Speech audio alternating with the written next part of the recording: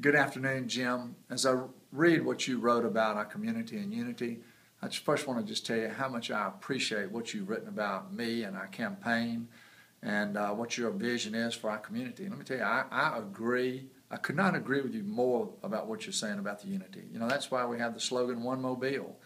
Um, you know, running for mayor is obviously a new experience for me.